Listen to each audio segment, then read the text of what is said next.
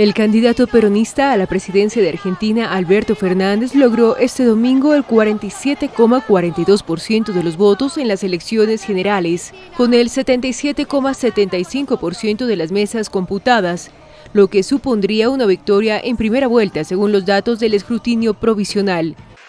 Por su parte, el actual presidente Mauricio Macri cosechó el 41,15%, un resultado mejor del anticipado por las encuestas. Gracias, como dijo Cristina, por el compromiso que han demostrado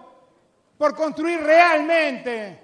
una Argentina solidaria, una Argentina más igualitaria, una Argentina que defienda la educación pública, una Argentina que defienda la salud pública, una Argentina que privilegie a los que producen, una Argentina que privilegie a los que trabajan. Fernández, que lleva como candidata a la vicepresidencia a la exmandataria Cristina Fernández, llegaba como favorito a estas elecciones presidenciales, las novenas de la actual democracia argentina, después de haber aventajado en 16 puntos en las primarias de agosto pasado a Macri y su segundo, el peronista disidente Miguel Ángel Piqueto, que han sufrido el desgaste de la larga crisis económica que arrastra el país. De mantenerse esta tendencia, no será necesaria una segunda vuelta prevista para el 24 de noviembre en el caso de que ningún candidato alcance el 45% de los votos o más del 40% y 10 puntos de ventaja sobre el segundo.